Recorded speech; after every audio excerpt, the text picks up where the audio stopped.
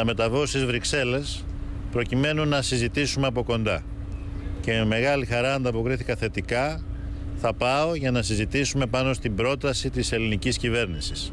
Να το εξηγήσω ότι σήμερα όσο ποτέ άλλοτε είναι αναγκαίο οι θεσμοί και κυρίως η πολιτική ηγεσία της Ευρώπης να προσχωρήσει στον ρεαλισμό πάνω στον οποίο κινείται εδώ και τρεις μήνες η ελληνική κυβέρνηση διαπραγματευόμενη τα δίκαια του ελληνικού λαού προς όφελος μιας ενωμένης Ευρώπης που σήμερα είναι αναγκαία για τους λαούς όσο ποτέ.